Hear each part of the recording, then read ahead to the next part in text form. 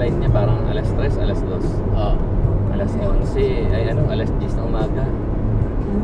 No, pasundo pa yun sa akin sa accommodation. Tapos punta doon sa amin. Ah, yung bago umalis siya. Oo, papaalam daw kila papa, kila Kay tita.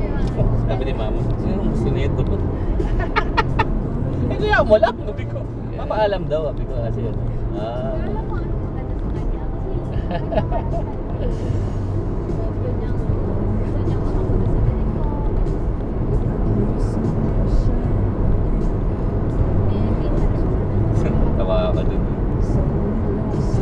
Kaya na.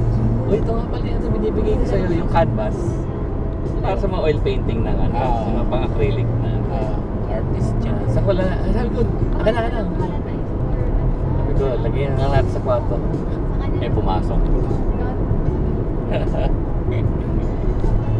Tapos sinara mo ng pinto.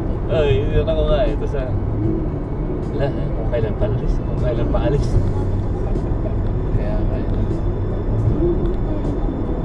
Ay, kaya, wala eh. Wala pa alis. Iniritan mo muna. Sabi ko eh, sabi ko, eh wala eh, nah- nahuli ka ng pagkakakilala sa amin eh.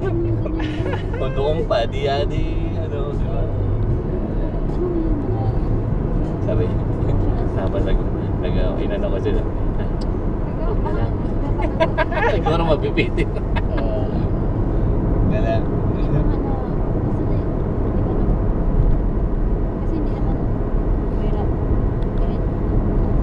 Sabi na, kung ikaw lang, mag-ano ka lang, tipong, tipong bachelor ka na may edad na, pwede na yun.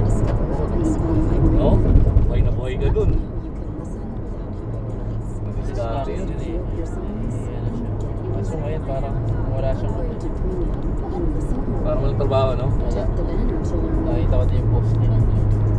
Meron pa siyang ano parang rock bottom siya. Ha? Oo, sabi niya. Yun nga, ng post, wala yung ano, ano, Ano, trabaho. si ito naman, si nanay ng anak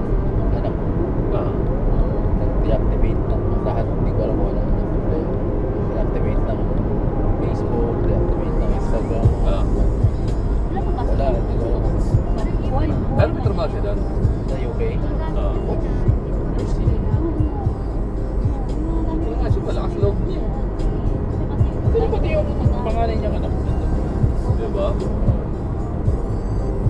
Nakasunod talaga ang loob ko. Kaya kaya niya.